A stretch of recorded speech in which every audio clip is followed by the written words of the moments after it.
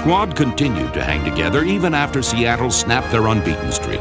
So against the Rams, Boomer Esiason proved why he's one of the premier quarterbacks in the NFL, setting a new club record with 490 yards passing. Rodney Holman, Tim McGee, and James Brooks also hit triple digit receiving and rushing numbers in one of the most exciting offensive duels of the season. Little flip out in the flat. It comes to Brooks. He's in the 10, 5, yes. touchdown. Boomer just dumped the ball over him, and Anthony Munoz was down there to clear out the last hurdle. And JB gets his second touchdown pass of the afternoon. Spearheaded by one of the best offensive lines in the game, the Bengals took a 21 to nothing lead. But just when Cincinnati thought their comeback march was behind them, the Rams returned fire in a seesaw scoring battle that was deadlocked by the end of regulation.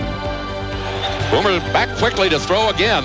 Everybody looks disjointed. Boomer still looking, still looking to Harold Green. Has it down at the five-yard yes. line, in for the touchdown. Yes. The Rams threatened twice in overtime, and twice the defense held.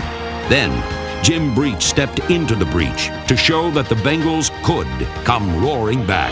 The ball is put down. There is the kick. It yes. is long enough, and it is! there. So Jimmy Breech hits his second one in an overtime, 44 yards.